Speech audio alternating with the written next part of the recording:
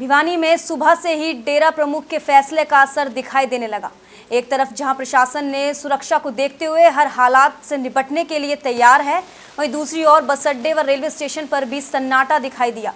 भिवानी से विभिन्न स्थानों पर जाने वाली लगभग 10 ट्रेनों को रद्द कर दिया गया। वहीं भिवानी बस अड्डे से भी कल देर शाम से लेकर किसी भी रूट की कोई बस नहीं भेजी गई। चौवन सात सौ चौरासी, चौवन सात सौ तिरासी सर जो आपने गाड़ियाँ बताई ये कौन से रूट की गाड़ियों का क्या नाम है? और इनके क्या टाइम टेबल है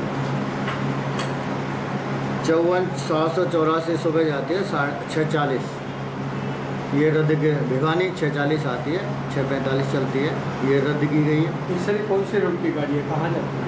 ये रेवाड़ी से भटिंडा जाती है। इस फैसले के बारे में हरियाणा सरकार द्वारा दिए गए निर्देश के अनुसार विशेष सुरक्षा प्रबंध किए गए हैं।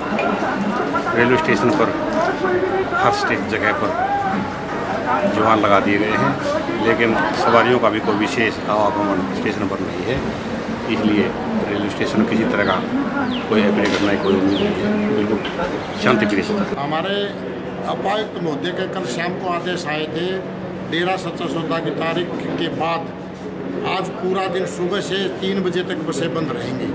पूरे हरियाणा में, पूरे हरियाणा में ही बसें नहीं चलेंगी। उसके बाद जो फैसला होगा, उसके उपरांत जो सरकार के आदेश आएँगे, उसके बाद ही बसें चलाई जाएँगी। न हमारी हड़ताल है, न छुट्टी है। सभी सभी कर्मचारी ड्यूटी के ऊपर है। चालक, परिचालक ड्यूटी पे बसें वृक्षों में खड़ी हैं, दफ्तर लगे हुए हैं। छुट्टी कोई नहीं है न हड़ताल है। सरकार के जो आदेश आएँगे, उसी के अनुसार हम बसें चलाएँगे।